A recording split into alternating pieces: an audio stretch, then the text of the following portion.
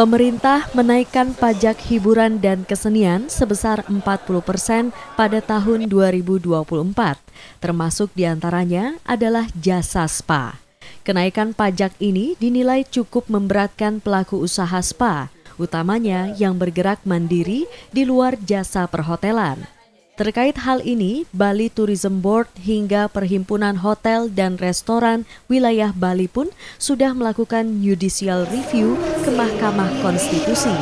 Harapannya agar kebijakan tersebut dapat ditunda atau jasa spa dapat dikeluarkan dari kebijakan yang dimaksud. Undang-undang uh, baru ini. Jadi ini menurut kami uh, akan melemahkan uh, Bali di mata pasar gitu pertama kita lagi habis pandemi ini kita lagi berkompetisi.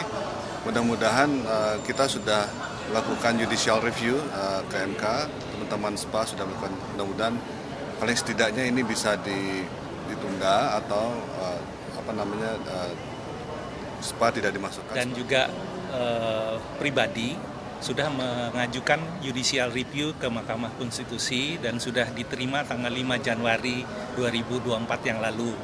Nah, yang diuji materikan adalah pasal 55 dan pasal 58. Pasal 55 itu yang menyangkut uh, spa yang ikut dalam uh, pajak hiburan. Yang kemudian yang pasal 58 itu mengenai tarif di sana. Nah, karena uh, hulunya adalah Undang-Undang Nomor 1 tahun 2022 mengenai hubungan uh, keuangan antara pemerintah pusat dan pemerintah daerah, kemudian turunannya menjadi peraturan pemerintah nomor eh, 35 tahun 2023 dan itu yang menjadi acuan oleh kabupaten kota untuk membuat perda di kabupaten kota tentang hal itu karena disebutkan di sana. Oleh karena itu kami bersama-sama dengan teman-teman industri spa itu e, mensupport mereka untuk mengajukan judicial review karena hulunya di sana. Nah, nanti dengan hulunya nanti kalau ini sudah selesai, kami harapkan ini semua bisa clear seperti itu. Sementara itu, Menteri Pariwisata dan Ekonomi Kreatif Republik Indonesia, Sandiaga Salahuddin Uno menyebut akan memberi penegasan pada pengampu kebijakan agar sektor pariwisata ini dapat diperhitungkan.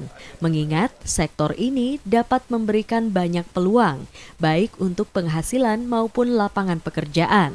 Lebih uh, kita ngobrol lah, ngopi lah antara pemerintah, uh, pusat, daerah, dan juga industri. Nah, saya uh, sudah memberikan klarifikasi kemarin untuk beberapa hal, tapi di sini uh, Gus Agung mungkin bisa menyampaikan dari industri uh, karena saya sudah mendapatkan beberapa uh, surat, email yang sangat keras uh, dan langkah-langkah hukum yang mereka akan uh, lakukan termasuk judicial review di Mahkamah Agung yang katanya ada Konstitusi. Mahkamah Konstitusi, sorry, Mahkamah Konstitusi uh, adalah uh, mengenai tarif. Hingga saat ini, para pelaku usaha spa di Bali masih bereaksi terhadap kenaikan pajak barang dan jasa tertentu atau PJBT, termasuk di dalamnya pajak hiburan dari yang sebelumnya 15 persen menjadi 40 persen dan maksimal 75 persen. Mereka keberatan dan belum menaikkan harga atau tarif layanan spa. Komang Suarbawe, Kadek Santosa, Kompas TV, Badung, Bali.